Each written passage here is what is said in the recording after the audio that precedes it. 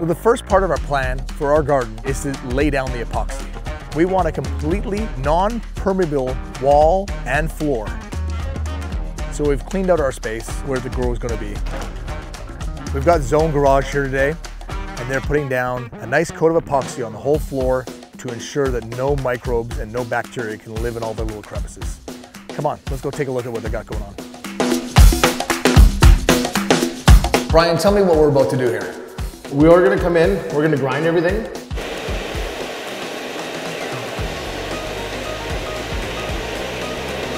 Vacuum it all, make sure it's clean. Uh, seal anywhere that we need to around the outer edges. And then of course if there was any crack repair, everything like that. And then we're gonna take and do a base coat with super white, make sure it's white.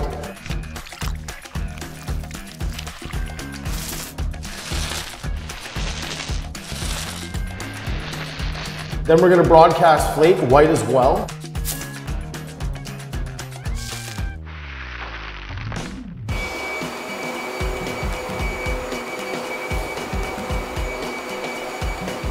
And then once that sits and dries for a few hours, we'll come back. We're gonna scrape it to give it a really nice texture. It's walkable, but it's safe. Once that's done, we're gonna vacuum it all up so there's no little leftover flake that's not adhered to the floor.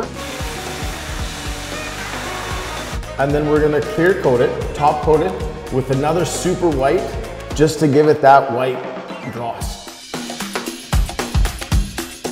And then after that, let it sit for, let's play safe at 72 hours, depending on temperature outside, and then uh, we're good to go.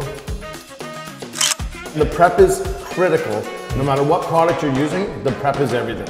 That'll dictate the longevity of your product.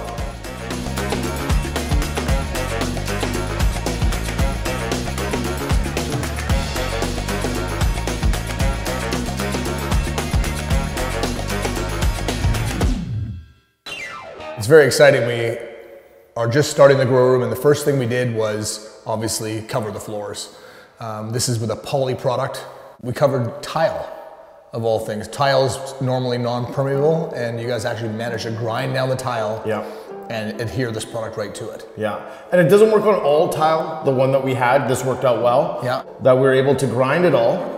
That when we sealed, the product actually kind of became one with the floor, which is great. The fact that it's easy to clean, mm-hmm. so nothing's gonna adhere into the floor. Yeah. It's gonna be a simple clean and you're gonna see everything. Cleanliness is the most important thing. That's the number one thing when it comes to a coating is you want to make sure that we're inhibiting the potential of problems coming up from the ground or areas for little critters to live. Can you adhere a product like this to wood? Yeah, No problem. no problem. So I understand we didn't go with actual epoxy.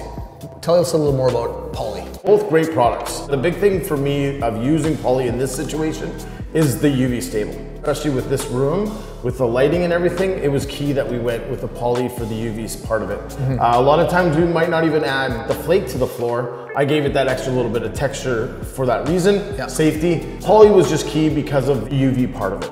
What happens if you use a product that's not UV stable? It will just start to yellow. So Okay. just to keep that floor clean and as one piece, mm-hmm. rather than it being yellow by the lights, you know, nicer by the walkway, mm-hmm. this way it's just one sheet, one sheet of white. We chose to go with white, obviously, for reflection. That makes a big difference overall normally? I've seen kind of both between the white and actually the light grays. The biggest thing is the, the cleanliness, that you're able to see it, clean it, there's nothing hidden.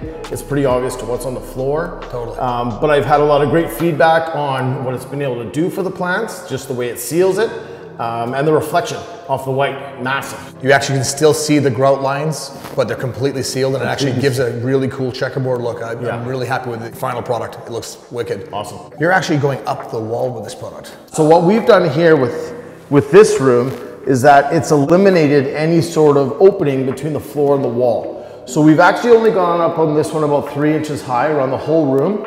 So we sealed it prior, then we base coat it up the wall, then we flake, scraped, and then top coated. It. So it had the same process we did on the floor, but now we've kind of made it like a bowl. It's eliminated any gapping and any sort of opening within the floor so that it is sealed.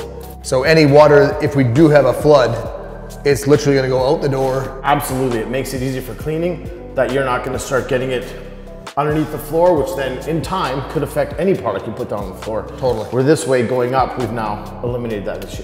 So now we're gonna put the PVC panels on the wall and we have a completely airtight, watertight seal. Yep. Fantastic.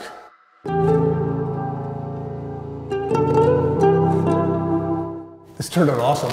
Yeah. Very excited with the finish. Appreciate it. Thank you. Next step is the walls. I can't wait to get growing.